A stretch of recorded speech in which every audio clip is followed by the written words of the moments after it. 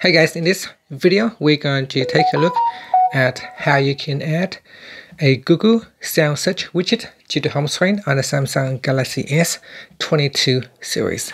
First tap on the home button to go back to the home screen and on the home screen, touch and hold. Next, tap on widgets.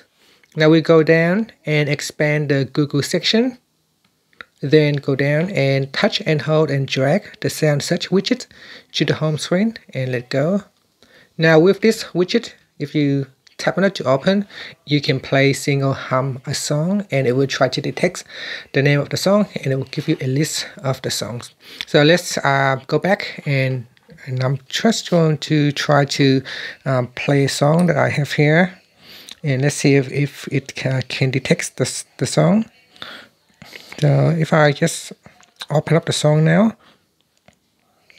so open with, I'm going to uh, play a song now.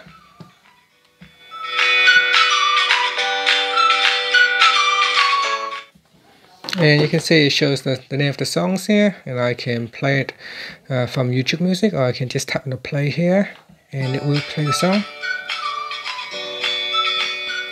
And that's it. So you can see that using sound search, it can help you to uh, find and identify uh, the name of the song. Thank you for watching this video. Please subscribe to my channel for more videos.